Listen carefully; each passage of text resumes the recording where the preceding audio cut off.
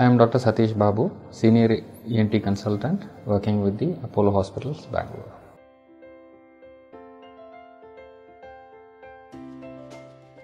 Yeah, tenderness uh, or pain around the ear, especially in front of the ear, and uh, clicking sounds while op- movement of jaw typically means that there is some issue happening in the temporomandibular joint. This can happen uh, at any point of life, but uh, more so towards uh, later life where uh, you lose your teeth and the, and the jaw occlusion, the, the closure of the jaw becomes a little uh, changed. Uh, the joint gets a little uh, worn off, then there is a ch- chance of developing these problems is quite more.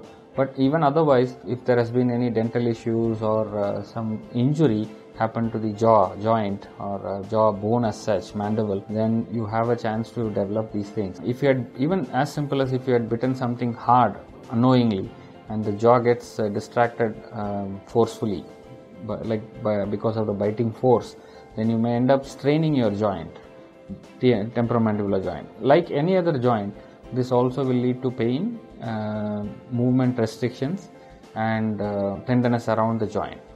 Uh, the ear block in these cases are rare, but it does happen. Uh, you know, when whenever there is a tissue swelling around the uh, joint, uh, the tissue swelling may also extend into the ear canal, and thereby reducing the air entry or the sound entry into the ear, and that could lead to a block sensation.